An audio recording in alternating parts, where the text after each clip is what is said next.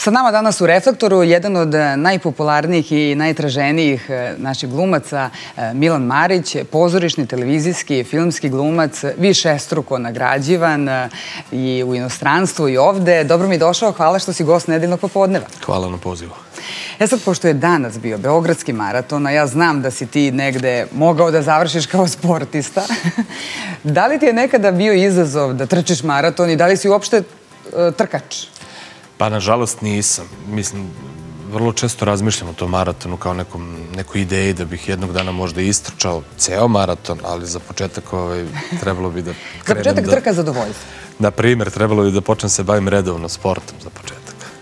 E, kako si e, od sportiste e, zaustavio tu ideju uopšte o sportu i prešao na daske koje živo znam? Pa da, to jeste zanimljivo u smislu, ja sam bio sigurno da se baviti sportom. Nekako sport jeste bila moja velika ljubav još iz detinstva i nekako e, bio sam okružen ljudima koji prate sport i brat i otac i nekako čitavo društvo.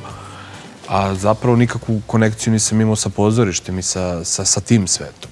I ja sam trenirao i futbal kao prvi, prvi moj, prvu moju ljubav, jel, sportsku, ali sam onda, ne znam, krenuo i na odbojku paralelno s tim, pa i na plivanje, pa nisam znao šta bio ta tri sporta, pa sam mešao, a zapravo je futbal nekako bio najdominantniji. I onda u jednom trenutku negde već pred kraj osnovne škole, početak srednje, meni se tu nešto već počelo, su stvari malo da mi se mešaju, u smislu uh, sve više me zanimalo pozorište, jer to je krenulo iz neke te uh, ne, školske sekcije dramske. Mm -hmm. I, ovaj, u kojoj si škole išao? Despo Stefan Lazarević. Mm -hmm i nekako je to krenulo one priredbice za dan škole, pa za Svetog Savu, pa ovamo, pa onamo, pa neka takmičenja sa tim predstavom, pa sve mi je to nešto bilo užasno izazovno i zanimljivo. I onda posle toga sam je otišao uh, na nagovor, tako je, na nagovor uh, kume moja koja je rekla, pa dobro, ajde, otiš da probaš. Ja rekao, pa što da ne, kad sam sve ovo probao, zašto ne bih probao i to. I zapravo tu se stao, tu sam nekako prelomio, a onda mi je malo pomogla i ta povreda koju sam doživjela u jednom trenutku na futbalu i to što sam morao jedno šest mjeseci napravim pauzu zbog kolena. I to je definitivno odlučilo. Ja sam tad ovaj, zapravo potpuno je sport otišao neki ne drugi nego treći plan. Ja sam shvatio da to nije to. Mislim, shvatio, osjećao sam da to nije to, da me ovo mnogo više i privlači, da nekako se ja lepše osjećam ispunjenije, da je to neki moj prostor igre u kom se ja stvarno osjećam kao ja. I sad kada, e, recimo, se vratiš u te dane kada si, kao što si e, govorio, bežao sa časova u pozorište i provodio tamo mnogo vremena, e, šta si tada zamišljao? Da li si mogao da zamisliš sebe danas sa svim ovim nagradama? Ti si još uvijek izuzetno mladi. Zaista, eto, dobio si nagradu među deset najboljih glumaca Evrope, si najtalentovanijih mladih glumaca. Pa si dobio sada jugoslovenske, JDP p-a nagrade za Edipa, za predstavu za koju se stvarno uvek e, traži karta više. E, više struko si nagrađivan, a mlad si još uvek jako.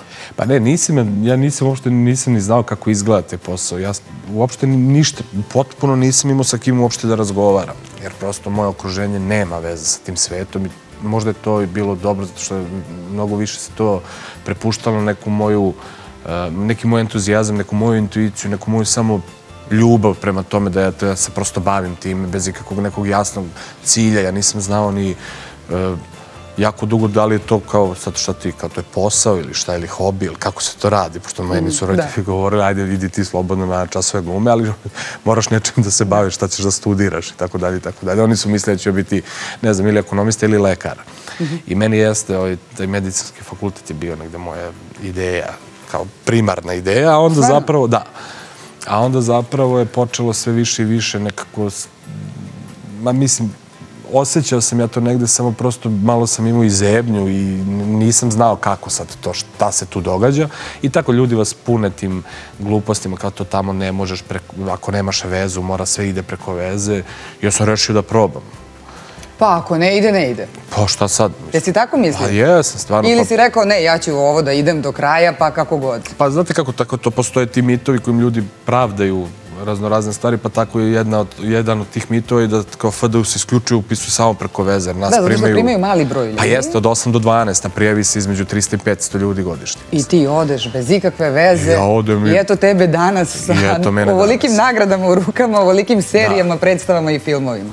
Da, tako da stvarno nisam imao, mislim, nemam i dan danas, nemam kao jasan cilj kako ja želim da kao izgleda sad moja karijera, koja ja sad sljedeće godine želim to i to pojma, nemam nekako stvarno i dalje puštam to da mi Da, da znaš šta me je zanimalo? Recimo ti si sad sediš ti u Dadovu, imaš koliko godina? Pa 16. 16 godina u tom polu praznom ili praznom, kako si rekao, nekad si dolazio prijati ta atmosfera, sediš i razmišljaš o nekom, ne znam, u tom trenutku velikom glumcu i razmišljaš, voleo bih da budem kao taj i taj ili voleo bih da postignem to i to. E, sad još jedna zanimljivost. Ja stvarno nisam, nemam ni dan danas. Nikada nisam imao ono, omiljenog glumca, glumicu, knjigu, pisca. Ne, film isto. Mene se neko kad pita koji ti je omiljeni film, meni je užasno teško to da izgovorim.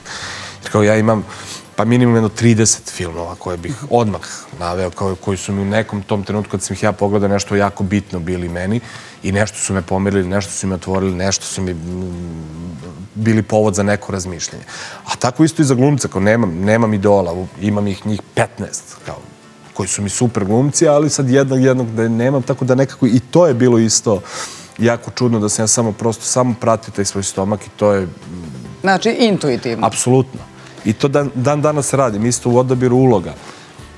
Nekako, ne znam, pročitam, pa pustim. Pa koja te intuicija odvela u Rusiju za Dvlatova, e. gde je bilo toliko, slušala sam i e, pročitala tvoje intervjue i gledala i slušala pažljivo šta si pričao, koliko je tu u stvari bilo nekih prepreka i problema, ali na kraju se isplatilo. Pa nije bilo pre... Da, mislim, jeste bilo i prepreke i problema, ali to je bilo mnogo zanimljivo, tako da je to jedna mala filmska priča. Oni su, oni su došli do mene zapravo na preporuku jedne naše koleginice koja živi godinama u, u, u Rusiji. Ona je gledala neku predstavu, nju nisam poznavao tada. Mhm. Ona je prosto došla valjda da posjeti rodbinu ili koja već živi u, u Srbiji i kao malo da ode po pozorištu. I prosto njen muž je radio nekad s tim rediteljem kao uh, kompozitor na filmu i znala je da on traži glumca za... Pritom to nije neki reditelj, nego čuveni reditelj. Tako je. I kao da, da je otvoren casting, da on traži glumca za, za, za, za film i da je traži u Rusiji, da je traži u Izraelu, u Americi, da je počet u bivšem SSR republikama da traži i tako dalje. I ajde kao da on, ona preporuči nas par iz Srbije, i oni nas kontaktiraju da mi pošljemo fotografiju. A ko je još bio tu? Eto, to ne znam. To ne znam ni ja. Ne znaš ti? Nisam htio da pitam. Dobro. pa ne bolje da ne znam. I ovaj, kao to je sve krenulo tako te neke crno-bele fotografije. Stražem najobičniju crno-belu fotografiju, da slikam bez ikakvog poziranja, bez išta, samo prosto crna-bela fotografija. I to je tako krenulo. I onda jedan krug, drugi krug, peti krug castinga. I onda se desilo to snimanje koje je bilo prilično tako u najmanju ruku rečeno zanimljivo. Očajno. Tako si ti rekao. Bilo je uzbudljivo jako, ali užasno... Ali mislio si da nisi dobio ulogu, je li tako? Tako sam te razumela. Bio sam siguran. Da. Ali i sad onda sve se to desi, šta se desi, znaš šta me zanima?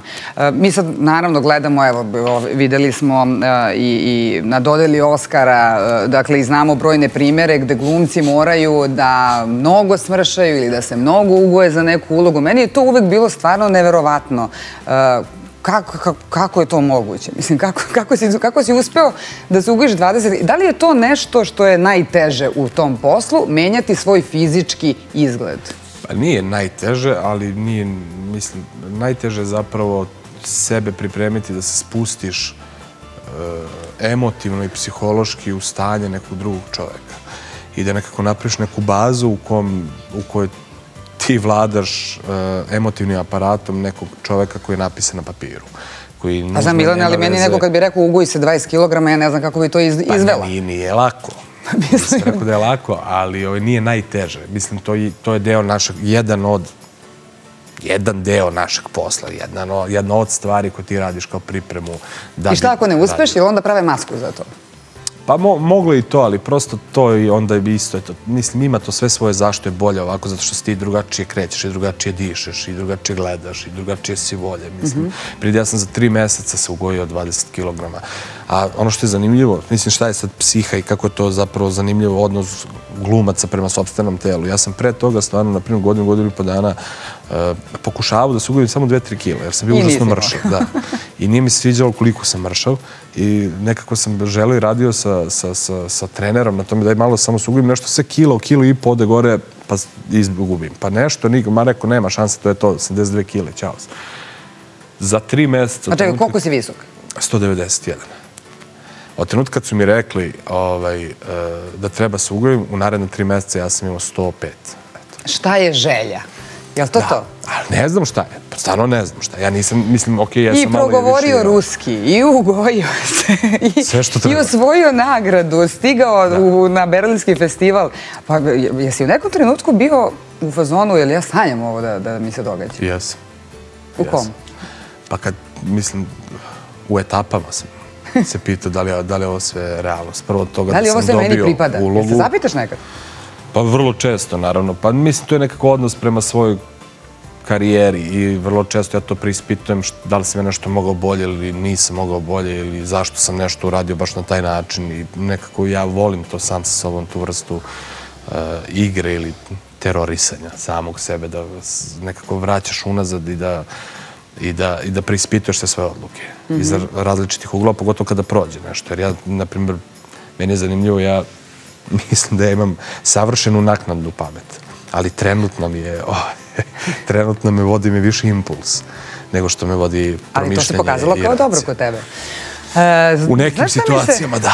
Znaš u mi se dopalo? Ne. E, jedan si od redkih e, glumaca, uopšte ljudi, ali ajde da, glumaca koji je više puta rekao, dakle više puta sam to od tebe čula i vidim da to želiš da podvučeš negde, a opet mislim da jeste značajno e, ta razlika, dakle ti kad igraš i ulaziš u lik i ti e, si više puta rekao da su tu uvek tanane linije.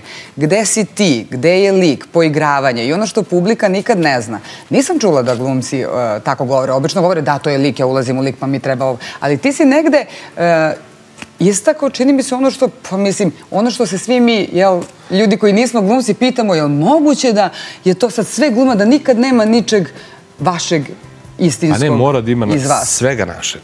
Mislim, sve to dolazi iz nas, jel? I taj lik, malo se to mistifikuje i glumci Pa to vrlo često kad govore tako to ulaženje u lik, malo ljudima koji se ne bave tim poslom je to tako nešto šta znači, to ko da nisu oni.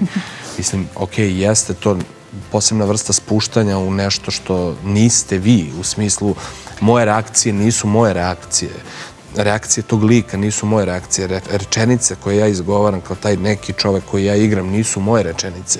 Ali, uh, Ali je li to aparat... emocionalno iscrpljujuće i pomeranje sobstvenih granica? Jeste, apsolutno. Pa zato što vi, kako bih to slikovito objasnio, ako, ako ne, kao reglere, vi imate svoje reglere na, na način, za način na koji reagujete na neke stvari. Za, ne znam, kako razmišljate, kako promišljate o stvarima. Dakle, imate nekako neki svoj ugao. I prosto vi sad dobijate neki, nekog drugog čoveka koji potpuno drugačije reaguje. Sad, da bi taj čovjek bio živ i uverljiv na platnu ili u pozorištu, nije bitno, vi morate da prenesete deo sebe u to. Nema to tamo nešto. Da. Prosto vi morate svojim emotivnim aparatom, svojim psihološkim aparatom da se igrate i da budete toliko razgibani, ajde tako da, da, da, da se izrazim, da možete da pravite raznorazne a, promene tu. A jel te neke uloge onda menjaju? Tebe Sigurno kao da. tebe? Sigurno da. Zato što na taj način nekako upoznaješ, mislim, zanimljiv je taj naš posao iz prostog razloga što stvarno imaš prilike da upoznaš raznorazne ljude kroz sebe, kroz tu vrstu igranja raznoraznih ljudi i raznoraznih situacija u kojima možda nikada za života ne bi bio. I prosto način na koji razmišljaš i promišljaš o, o, o svemu tome te tera da sebe stavljaš prvenstveno u tu situaciju šta bi ti uradio, na primjer, za početak. A onda tek šta bi taj čovek sa tim karakterom, kak, kak, kak, kako je napisan bi uradio. Ali nekako i ti sebe guraš u neke situacije koje su tebi potpuno nepoznati. Na taj način rasteš, na taj način zapravo uh, razumeš dosta ljude. I ja mislim da glumac koji nema razvijenu empatiju teško da može da, da se bavi tim poslom do kraja. Mislim da moraš e da, da, razumeš... empatija je ono što nam izuzetno fali Pa u jeste, današnje vreme. igrao ti najgore, najgore negativce. Ti moraš da razumeš odakle to ide. Što ne, ne znači da opravdavaš.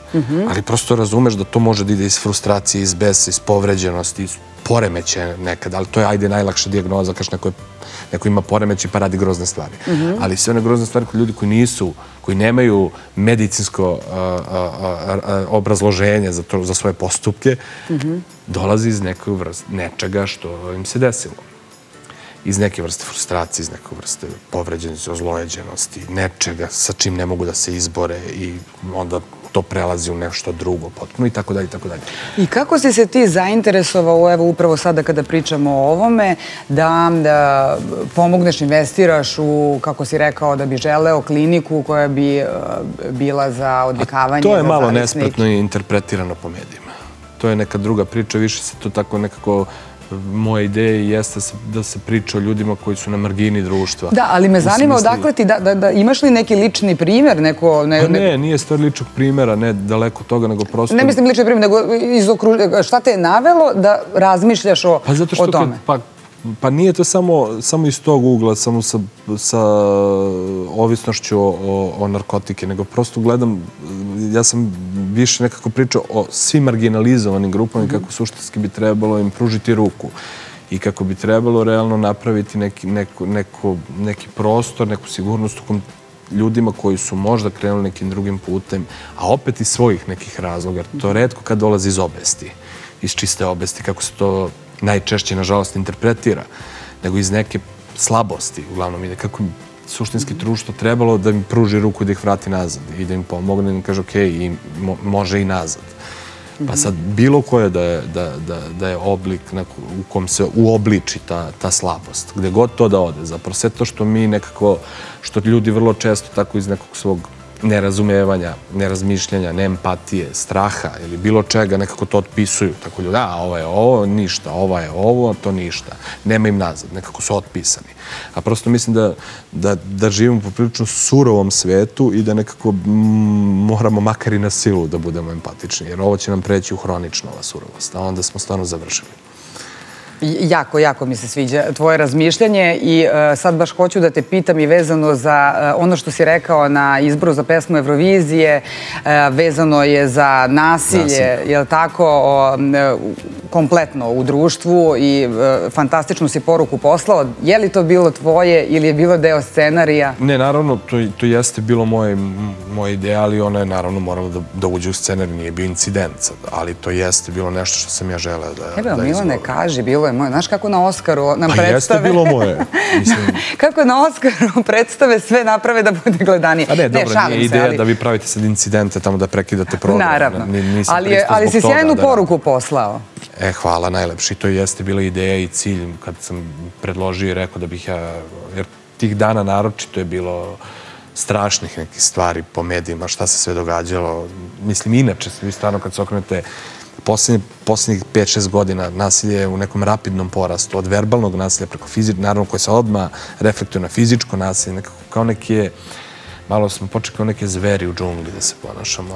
Da, i sad... Ima to razloga zbog čega je to tako. Vidim da voliš društveno angažovanje i da si neko ko bi voleo da popravi na neki način neke stvari u društvu i da ti negde ta prepoznatljivost i popularnost u tom smislu umeš da iskoristiš, da pošalješ neke prave poruke i to je stvarno e, divno znati i čuti, pa te neću ni pitati vezano za to si već rekao više puta bavljenje politikom, nisi ni mislio da se baviš ozbiljno, već da imaš e, neku podršku i taj moment društvenog angažovanja. Ali e, hoću da te pitam, jer ovo je nedeljno popodne, inače format emisije možda negde i zaboravljen, a mi smo ga ponovo oživeli. Zašto? Zato što e, je nedelja porodični dan, zato što e, se nedeljom okupljamo oko tradicionalnog nedeljnog ručka. Jesi li ti tako odrastao i znam da ti je važna porodica i da li možda neguješ i dalje taj trend kad imaš vremena. Sad vidimo, ja znam da ti imaš malo vremena u stvari.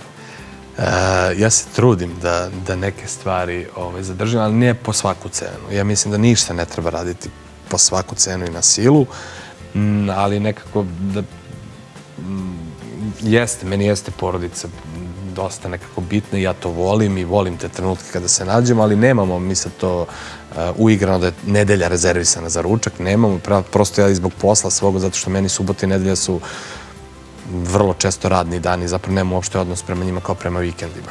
Mhm. Meni nekako uđem u neki period kad dosta radim da mi je svaki dan sreda. Ja prosto samo gledam po gužvi u saobraćaju, znam da je to nedelja, jer kao, aha, stignem za 10 minuta negde, a ne treba mi 45 i znam kad je ono ponedeljak i petak. Tako da, ovaj, ali suštinski, E, razumem i volim te trenutke kada se dese, ali kada se dese i kada budu nekako spontani, kad stvarno svi uživamo u tome. I nekako ja volim da pravim te situacije u kojima se nekako ljudi oko mene lepo osjećaju. To je divno. E, unazad nekoliko godina imamo sva ovo dešavanja koje imamo i čini se da mentalno zdravlje nacije nije baš na zavidnom nivou. Da li se baviš mentalnom higijenom? Apsolutno da. I prvo često i govorim čak o tome i nemam problem da govorim o tome i to meni nije tabu tema. Ja mislim da je to tema o kojoj bi trebalo govoriti i zbog ovoga što si ti rekla, to jeste ovaj, sve ovo što se događa oko nas utiče na nas. Koliko god mi mislili da uspevamo da se zaštitimo, to je isto reakcija na haos oko nas.